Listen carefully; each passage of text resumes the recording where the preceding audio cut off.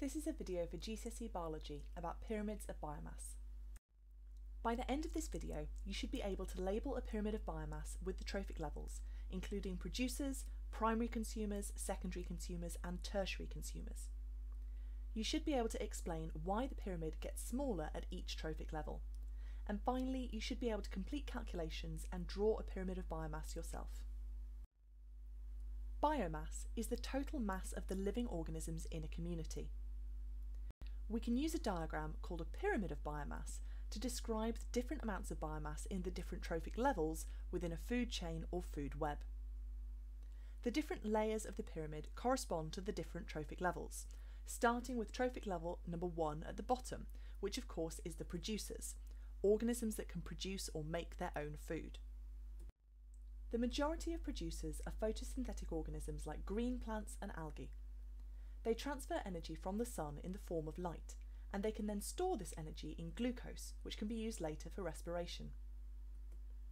Around 1% of the sun's energy is absorbed by plants using their chlorophyll and then stored in glucose as part of photosynthesis.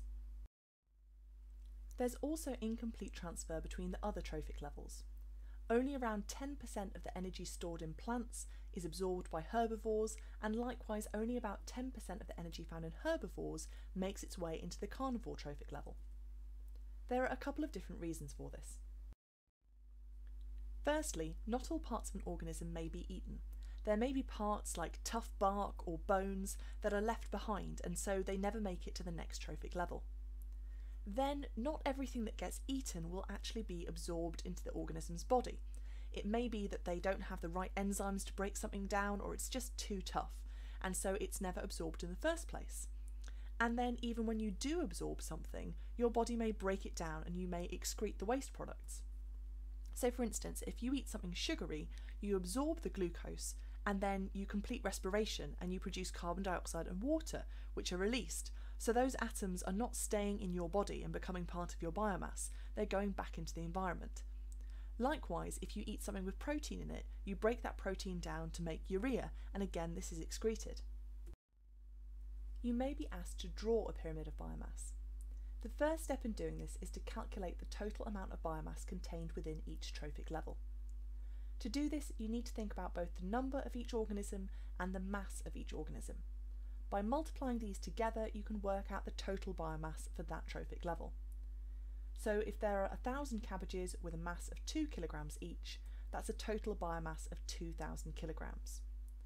Then for the caterpillars, we have 100 kilograms, for the sparrows, 9.6, and for the kestrels, 0.8. You're expecting each trophic level to have around 10% of the previous trophic level within it, so this will give you a clue that the numbers you've got are right. However, be aware that drawing a scale pyramid of biomass using true numbers is quite tricky because it's quite hard to fit it all on one page without your top bar being really, really skinny. So it's possible that the exam board may give you numbers that aren't super realistic in order to allow you to actually draw the pyramid of biomass. Your completed pyramid of biomass should be symmetrical, with trophic level number 1, the producers, at the bottom, and then each subsequent trophic level getting smaller from there. Your x-axis should be labelled both with the fact that it represents biomass and also with the units, kilograms, and you should also have a sensible scale showing the scale bar. Thank you very much for watching and I hope you found this a useful introduction to pyramids of biomass. If you did find it useful then let me know in the comments and don't forget to like and subscribe for more GCSE biology updates coming soon.